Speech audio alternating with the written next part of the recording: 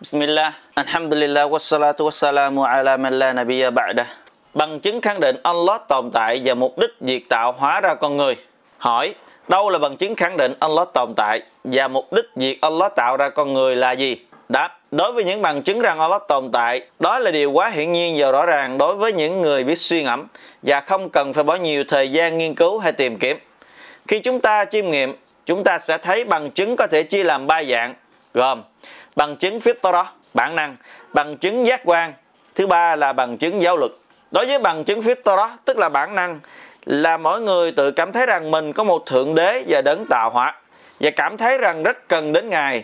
Đó là điều thể hiện rõ nhất khi ai đó gặp phải rắc rối lớn. Lập tức tai và mắt người đó sẽ liền hướng lên bầu trời mà khẩn vái, cầu xin sự giải thoát từ thượng đế của mình, đấng tối cao phán.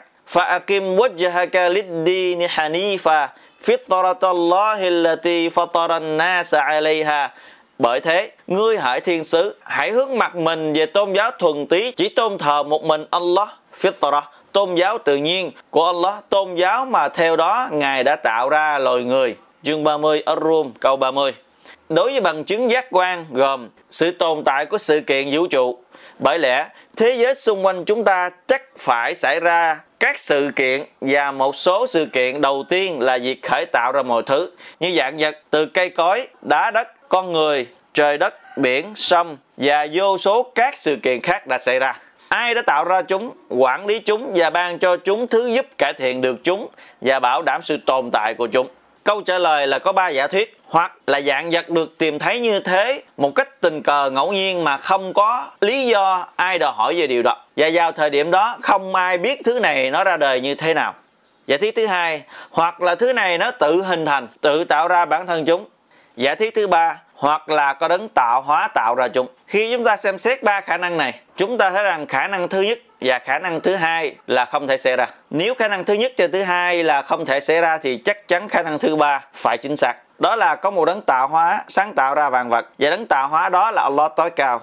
Chính ngài, đấng hiển vinh đã ban cho mọi thứ những gì phù hợp với chúng và đảm bảo sự sống còn của chúng.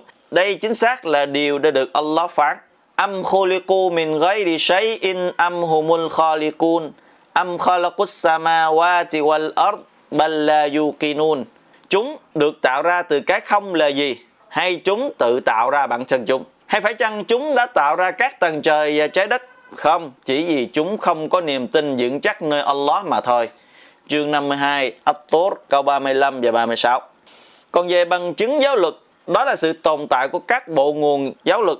Sheikh Ibn Uthaymin rahimahullah ta'ala nói tất cả các bộ nguồn giáo lực đều chỉ ra sự tồn tại của đấng tạo hóa và sự hoàn hảo về kiến thức, sự khôn ngoan và lòng thương xót của Ngài. Bởi lẽ, tất cả giáo luật này phải có người lập pháp và đấng lập pháp đó là Allah hùng mạnh và toàn năng.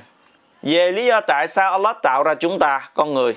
Câu trả lời, Ngài tạo ra chúng ta, tức con người để thờ phượng Ngài, cảm tạ Ngài và tưởng nhớ Ngài, để tuân thủ theo những gì Ngài đã ra lệnh cho chúng ta làm. Đó là những gì đã được giải thích rõ ràng cho tất cả mọi người. Allah tôi cao phán.